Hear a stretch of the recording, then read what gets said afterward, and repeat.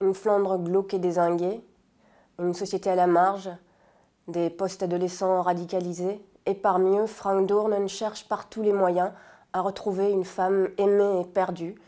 Il ira la chercher jusqu'au fond des carrières de calcaire, un immense cimetière préhistorique qui réclame d'autres victimes.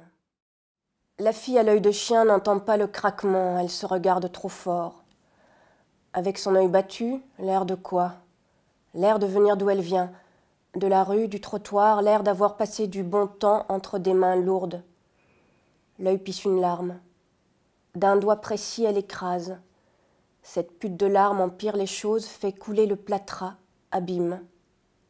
Elle serre le pinceau un peu fort, se concentre, pose une nouvelle couche et encore une, reprend courage, tout n'est pas perdu, se regarde comme si sa vie en dépendait.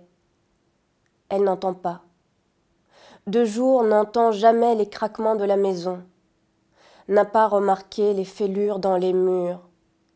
Cette maison bouge, elle vit, un peu fragilisée, mais c'est du solide, a dit l'architecte venu constater un dégât des eaux.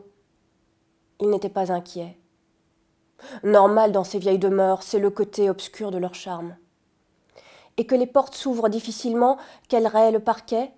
Pas d'inquiétude. Un menuisier viendrait raboter l'affaire de quelques heures. Il en connaissait un très bien au besoin. Tenez, mademoiselle, voilà sa carte, et de complimenten à monsieur. Dans le miroir d'acajou, elle ne pleure plus. Ça ne sera rien, elle est sauvée.